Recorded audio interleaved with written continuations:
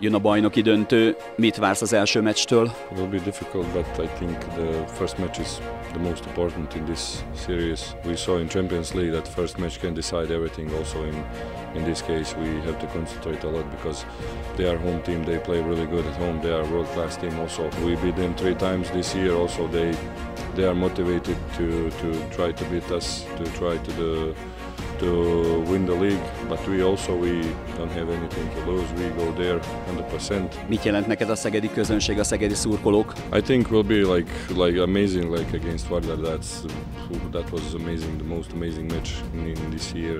What I played here, they support us until the final. After that loss, they support us also, and that means a lot for us. In, in but uh, I hope that we will not disappoint them in, in these two games against Veszprém.